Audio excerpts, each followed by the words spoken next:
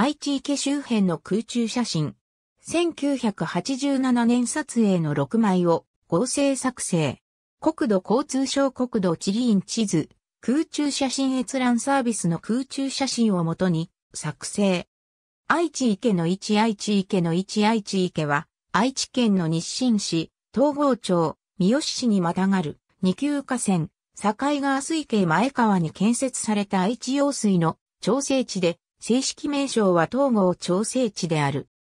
東郷調整地は、愛知用水の水路水を管理するために造成された人造湖で、愛知用水の幹線水路の中間点に位置する。元池は、独立行政法人水資源機構が管理する統合ダムのダム湖である。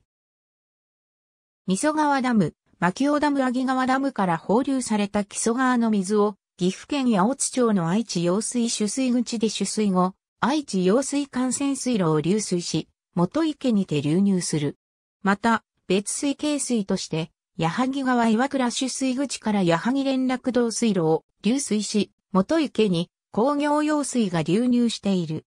元池で貯水した水は、元池の愛知用水取水口を経由して、愛知用水幹線水路の下流に再送水する。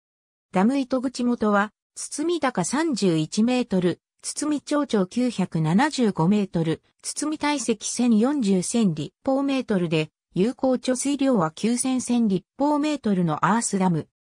愛知用水の水は農業用水として岐阜県、愛知県の27市町の1万5000ヘクタールの農地、水道用水として愛知県の11市町の家庭約83万人、工業用水として岐阜県蟹市や名古屋市南部及び名古屋南部臨海工業地帯などの旧市町の約80社の工場で使用されている。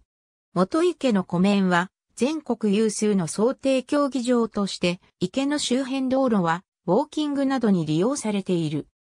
愛知池は平成6年の第49回国民体育大会、平成30年度全国高等学校、総合体育大会等でのボート競技会場として使用され、現在も愛知県ボート協会が管理する想定コースが設定されており、トヨタ暴食ボート部、伝送ボート部等が抵抗を構え練習場所としている。